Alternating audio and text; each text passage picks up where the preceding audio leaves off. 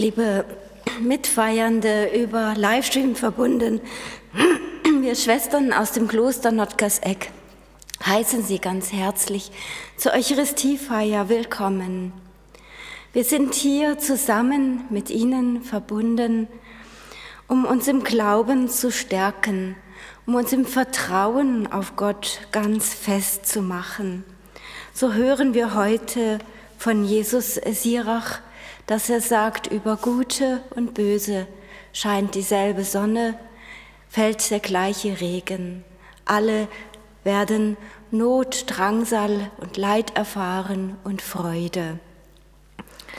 Aber diejenigen, die sich an Gott ganz fest machen, ihm vertrauen, werden durch Schweres geläutert.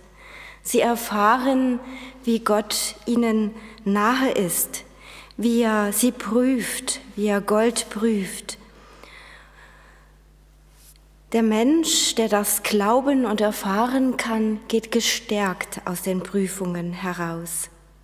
Und er weiß, so sagt er weiter, ihr, die ihr den Herrn fürchtet, hofft auf Heil, auf immerwährende Freude und auf Erbarmen. Und so ist es auch Jesus, dem das Gleiche als Sohn Gottes widerfährt, der Schreckliches erleben muss, denn er wird den Menschen ausgeliefert und er wird sterben müssen auf brutalste Art und Weise.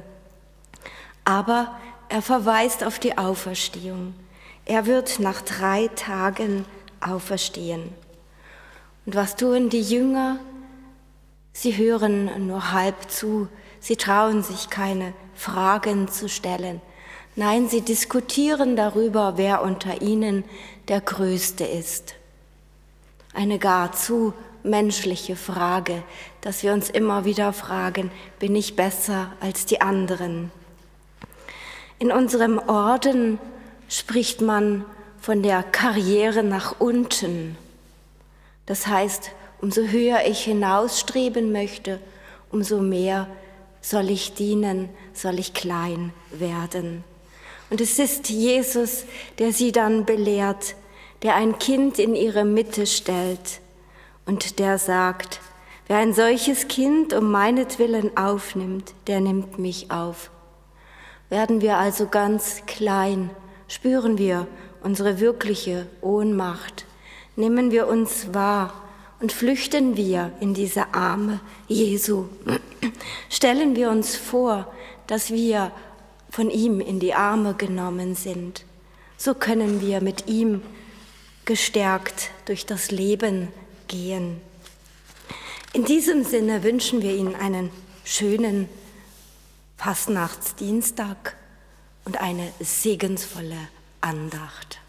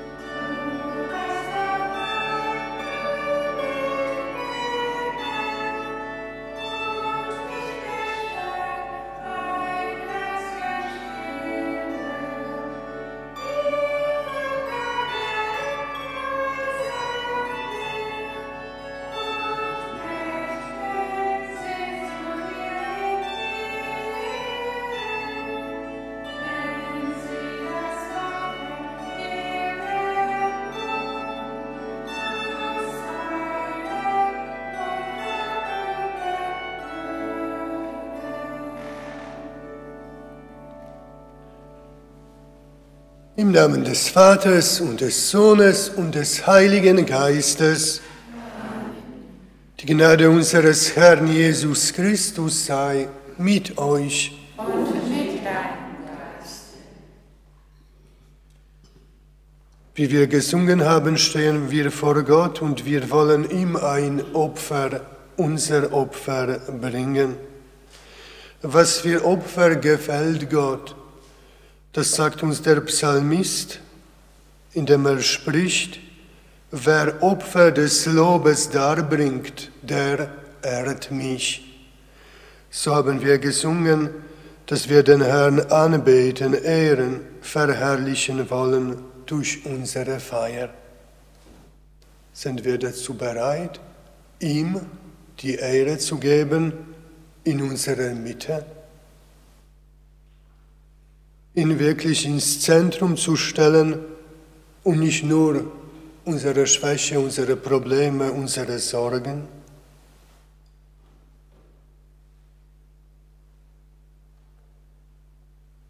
Bitten wir den Herrn um ein neues, reines Herz, dass wir ihn durch dieses Opfer verherrlichen können.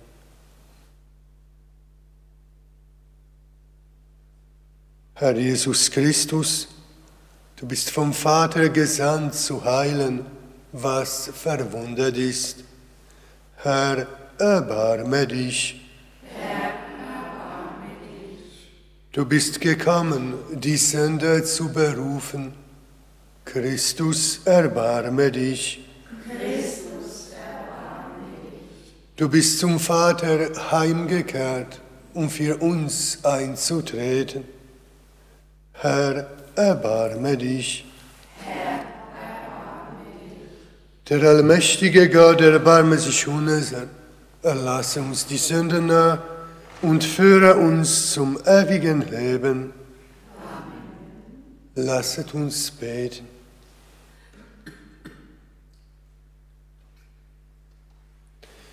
Barmherziger Gott und Vater, Du hast durch deinen Sohn zu uns gesprochen. Lass uns immer wieder über dein Wort nachsinnen, damit wir reden und tun, was dir gefällt.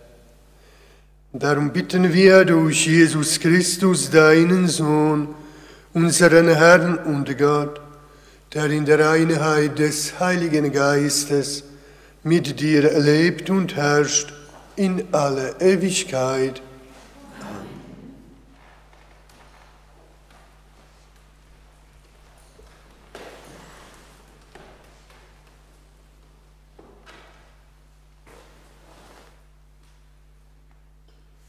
Lesung aus dem Buch Jesus Sirach. Mein Sohn, wenn du dem Herrn dienen willst, dann mach dich auf Prüfung gefasst. Sei tapfer und stark, zur Zeit der Heimsuchung überstürze nichts. Hänge am Herrn und weiche nicht ab, damit du am Ende erhöht wirst. Nimm alles an, was über dich kommen mag, halt aus in vielfacher Bedrängnis. Denn im Feuer wird das Gold geprüft, und jeder, der Gott gefällt, im Schmelzofen der Bedrängnis. Vertrau auf Gott, er wird dir helfen. Hoffe auf ihn, er wird deine Wege ebnen. Ihr, die ihr den Herrn fürchtet, hofft auf sein Erbarmen. Weicht nicht ab, damit ihr nicht zu Fall kommt. Ihr, die ihr den Herrn fürchtet, vertraut auf ihn, und er wird euch den Lohn nicht vorenthalten. Ihr, die ihr den Herrn fürchtet, hofft auf Heil, auf immerwährende Freude und auf Erbarmen. Schaut auf die früheren Generationen und seht, wer hat auf den Herrn vertraut und ist dabei zu Schanden geworden? Wer hoffte auf ihn und wurde verlassen? Wer rief ihn an und er hörte, und er erhörte ihn nicht? denn gnädig und barmherzig ist der Herr. Er vergibt die Sünden und hilft zur Zeit der Not. Wort des lebendigen Gottes. Ja.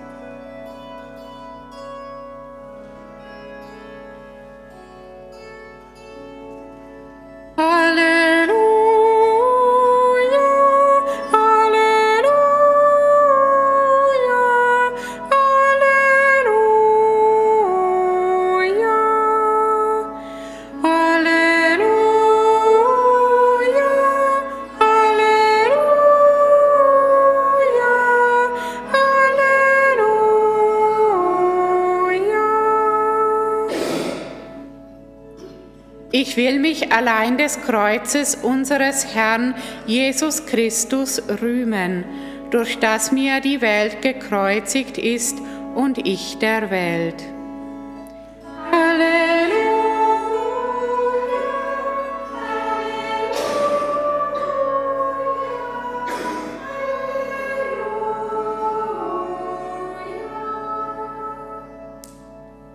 Der Herr sei mit euch. Aus dem heiligen Evangelium nach Markus. In jener Zeit zog Jesus und seine Jünger durch Galiläa.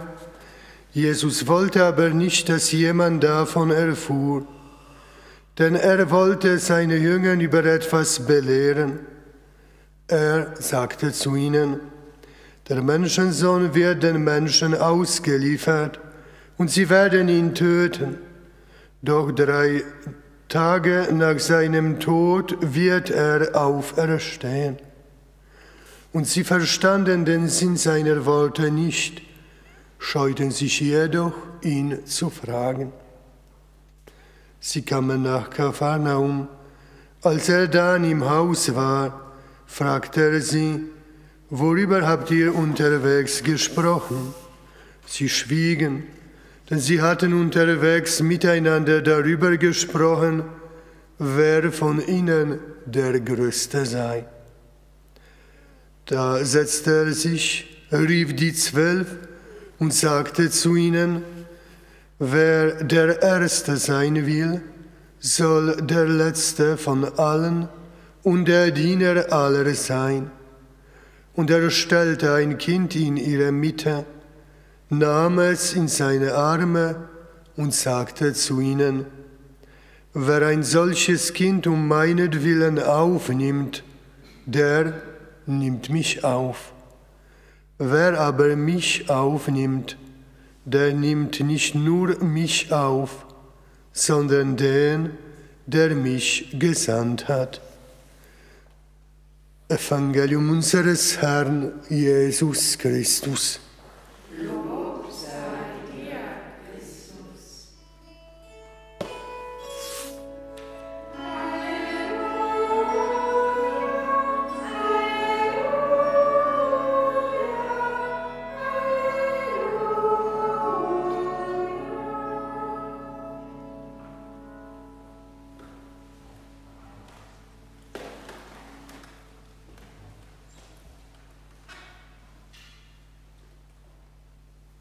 heutigen Evangelium zeigt uns Jesus ein anderes Gesicht vom Beten.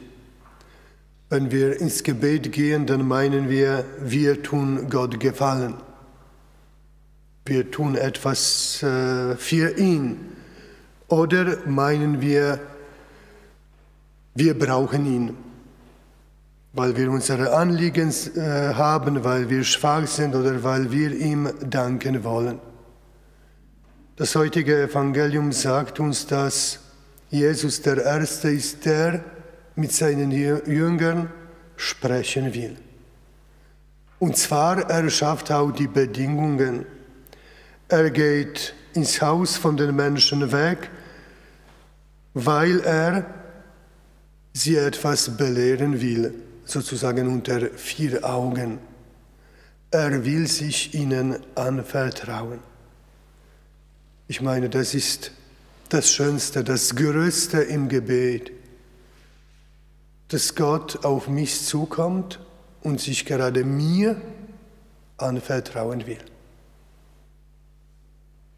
Er hat gerade mich ausgesucht und will mit mir über all das sprechen, was sein Herz bewegt, was ihn erwartet.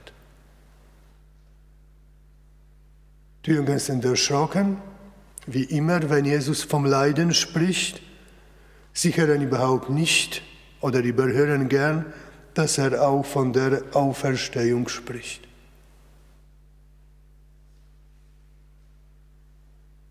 Und dann ihre Reaktion auf diese Worte, man kann sagen, Ignoranz. Sie haben Angst auf der einen Seite, wollen nicht nachfragen, was es bedeutet, und dann beginnen miteinander zu streiten, wer der Größte sei unter ihnen. Irgendwie ein Missverständnis zwischen Jesus und seinen Jüngern, zwischen dem, was wirklich Gott will und was wirklich angesagt ist und dem, was wir Menschen wollen. Gott kommt und vertraut sich mir an und ich beschäftige mich mit meiner Größe und auch mit den anderen. Ja, weil da eigentlich ich war, bin der Größte, nicht die anderen. Papst Franziskus lädt uns dazu ein, dass wir in der Fastenzeit mehr auf Gott hören und aufeinander hören, dass wir Zeit dafür haben dass wir das wirklich schätzen, dass Gott sich mir anvertrauen will. Und dass ich vielleicht all das meine aufgebe und mal nur das eine wage, Gott, wenn es so ist, dann bin ich für dich da, mit offenem Ohr und mit offenem Herz. Und erst dann kann das Wort Gottes mein Herz verwandeln mein Herz prägen, so dass ich von Gott her alles sehen und betrachten kann. Dass ich vielleicht auch mal aufhöre, mich mit mir selber vor Gott zu beschäftigen. Möge das wirklich eine große Freude für uns sein, dass wir so wichtig für Gott sind, dass wir so großen Wert in seinen Augen haben, dass er sich gerade uns, gerade mir anvertrauen will.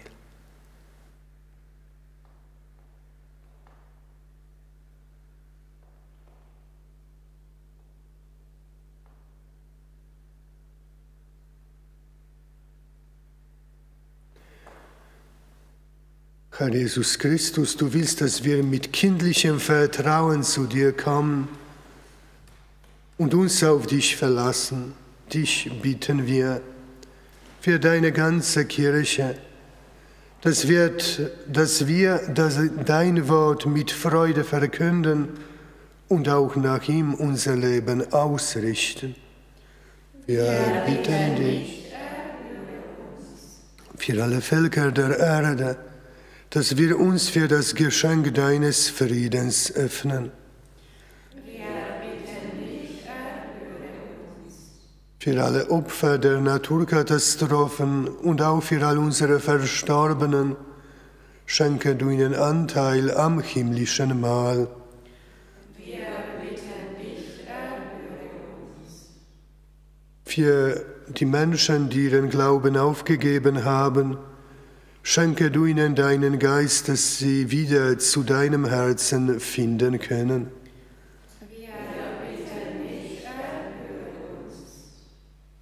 für uns selbst, dass wir, Herr, ein offenes Herz für dich und für deine Anliegen haben. Wir bitten dich. Wir danken, Herr, dass es dich gibt, dass wir für dich auch da sein dürfen. Dir sei Ehre und Lob jetzt und in Ewigkeit. Amen.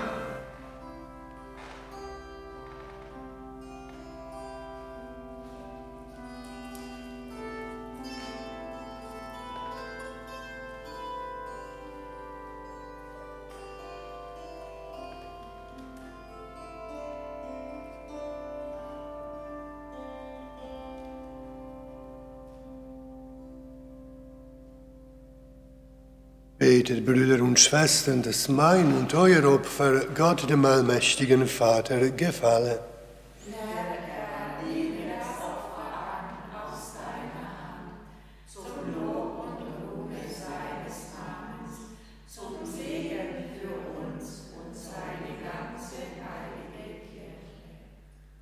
Allmächtiger Gott, in der Feier der göttlichen Geheimnisse erfüllen wir den Dienst, der uns aufgetragen ist. Gib, dass wir deine Größe würdig loben und preisen und aus diesem Opfer Heil empfangen. Darum bitten wir durch Christus, unseren Herrn. Der Herr sei mit euch.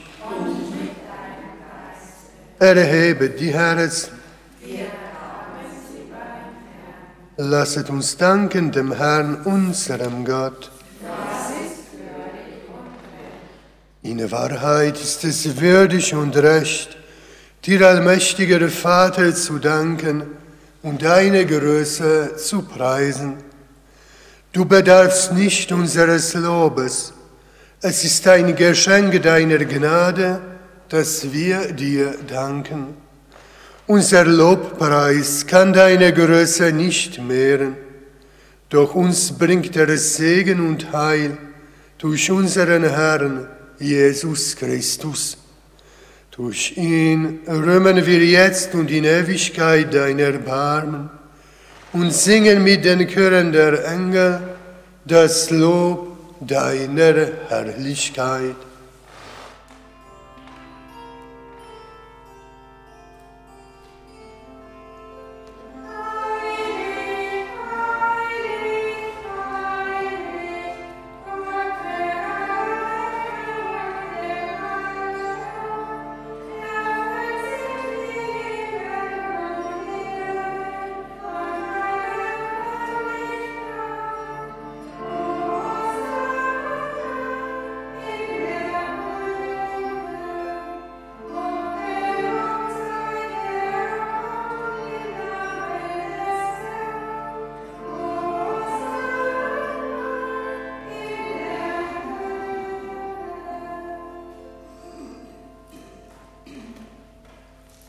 Ja, du bist heilig, großer Gott.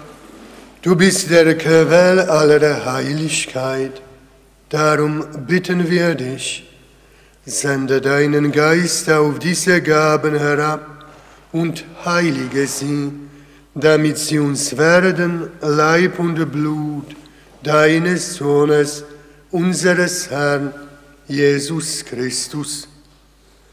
Denn am Abend, an dem er ausgeliefert wurde und sich aus freiem Willen dem Leiden unterwarf, nahm er das Brot und sagte Dank, brach es, reichte es seinen Jüngern und sprach, Nehmet und esset alle davon, das ist mein Leib, der für euch hingegeben wird.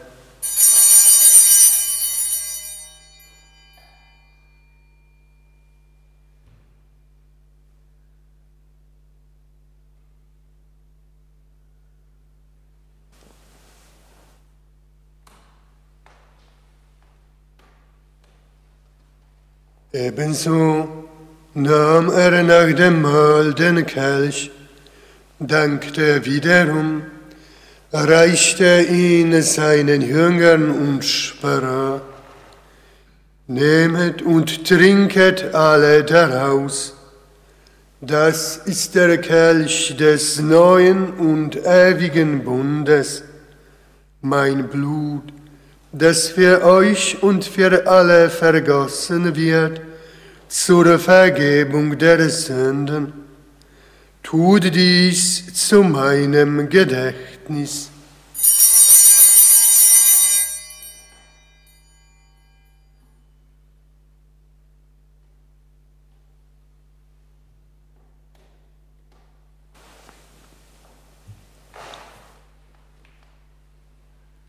Geheimnis des Glaubens. Deinen Tod, o Herr, verkünden wir und deine Auferstehung preisen wir.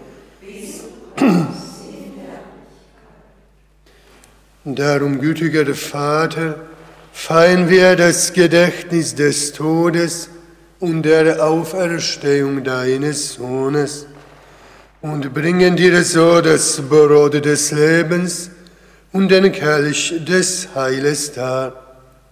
Wir danken dir, dass du uns berufen hast, vor dir zu stehen und dir zu dienen.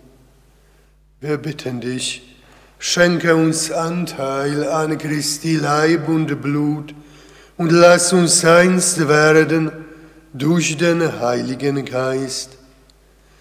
Gedenke deiner Kirche auf der ganzen Erde und vollende dein Volk in der Liebe. Vereint mit unserem Papst Franziskus, unserem Bischof Markus und allen Bischöfen, unseren Priestern und Diakonen und mit allen, die zum Dienst in der Kirche bestellt sind. Gedenke auch unserer Brüder und Schwestern, die entschlafen sind in der Hoffnung, dass sie auferstehen. Nimm sie und alle, die in deiner Gnade aus dieser Welt geschieden sind, in dein Reich auf, wo sie dich schauen von Angesicht zu Angesicht. Vater, erbarme dich über uns alle, damit uns das ewige Leben zuteil wird in der Gemeinschaft mit der seligen Jungfrau und Gottesmutter Maria, mit dem heiligen Josef, ihrem Bräutigam, mit deinen Aposteln, mit dem heiligen Antonius von Padua und mit allen, die bei dir Gnade gefunden haben, von Anbeginn der Welt, dass wir dich loben und preisen durch deinen Sohn, Jesus Christus. Durch ihn und mit ihm und in ihm ist der Gott allmächtiger Vater in der Einheit des Heiligen Geistes alle Herrlichkeit und Ehre jetzt und in Ewigkeit.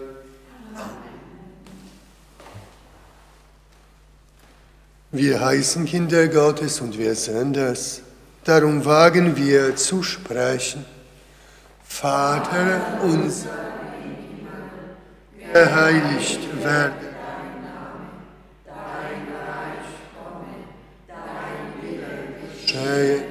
wie so auf Erden. Unser tägliches Brot gib uns heute und vergib uns unsere Schuld, wir vergeben unseren Schuldigen und führe uns nicht in Versuchung, sondern erlöse uns von dem Erlöse uns, Herr allmächtiger Vater, von allem Bösen und gib Frieden in unseren Tagen. Komm uns zu Hilfe mit deinem Erbarmen und bewahre uns vor Verwirrung und Sünde, damit wir voller Zuversicht das Kommen unseres Erlösers, Jesus Christus, erwarten. Denn dein ist das Reich und die Kraft und die Herrlichkeit in Ewigkeit. Amen. Der Herr hat zu seinen Aposteln gesagt, Frieden hinterlasse ich euch, meinen Frieden gebe ich euch. Deshalb bitten wir, Herr Jesus Christus, schau nicht auf unsere Sünden, sondern auf den Glauben deiner Kirche und schenke ihr nach deinem Willen Einheit und Frieden. Der Friede des Herrn sei allezeit mit euch. Geben wir einander ein Zeichen des Friedens, der Versöhnung. Lamm Gottes, du nimmst hinweg die Sünde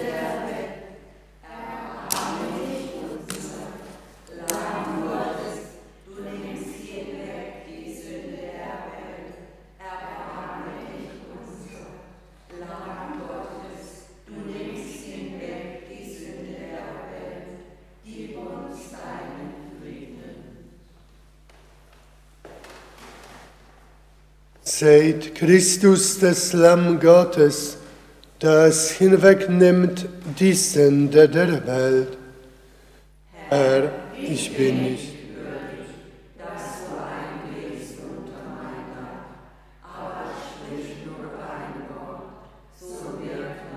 Seele gesund. Wer von diesem Brot isst, wird in Ewigkeit leben.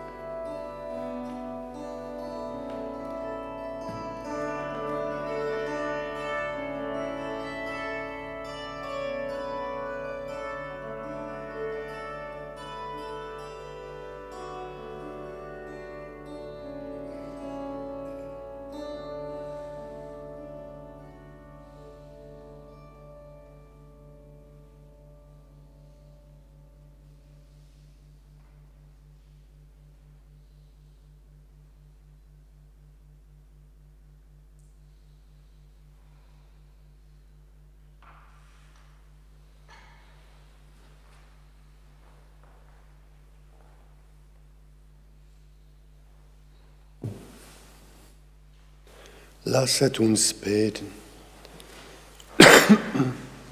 Getreuer Gott, du hast uns das heilige Sakrament als Unterpfand der kommenden Herrlichkeit gegeben.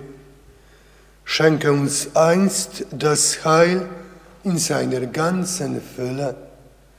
Darum bitten wir durch Christus, unseren Herrn bitten wir den Herrn um seinen Segen. Der Herr sei mit euch. Und mit Heiliger Antonius, du bist uns besonders nahe. Wir wissen uns mit dir verbunden an die ewige, im Glauben an die ewige Lebensgemeinschaft mit Gott. Wir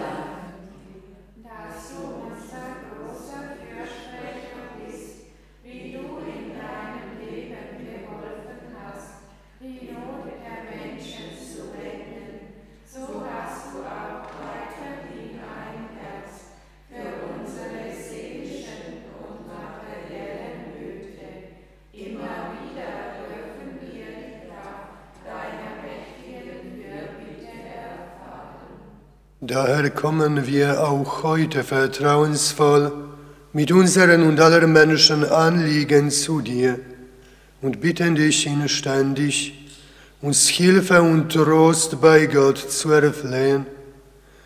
Dein Leben für Gott und die Menschen soll uns Vorbild und Ansporn sein auf unserem Weg. Bitte für uns, heiliger Antonius,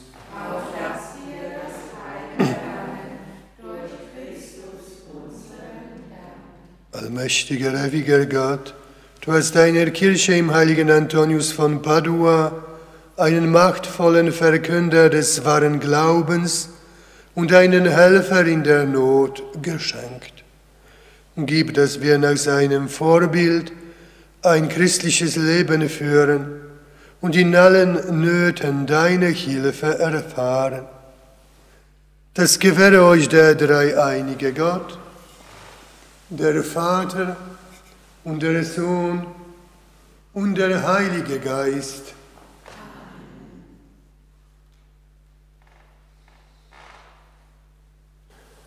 Geht hin in Frieden. Dank sei Gott.